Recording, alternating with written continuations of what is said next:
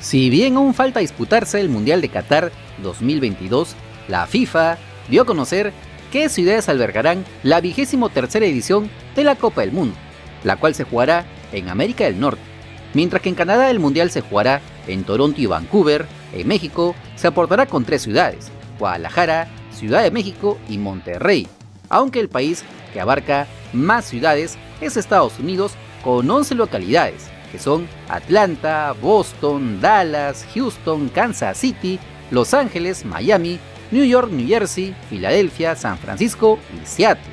Cabe indicar que en México ya se disputó dos mundiales, en 1970 y en 1986, mientras que en Estados Unidos se jugó la edición de 1994. Canadá nunca albergó una cita máxima y será la primera vez que tres países sean sedes de una Copa del Mundo, como se lo mencionamos en el video anterior, el nuevo formato que plantea la FIFA para las eliminatorias con Mebol todavía deberán debatirse por las asociaciones miembro y de ellas dependerá si se modifica el enredo que les explicamos o se sigue con el formato de todos contra todos.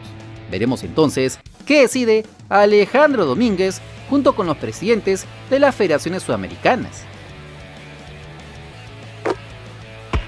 No te olvides que si quieres estar enterado de las últimas novedades de nuestro balompié, solo suscríbete al canal porque somos el canal del fútbol peruano. Si te gustó el video de like, comparte, suscríbete con la campanita. Nos vemos en el siguiente video. ¡Chao!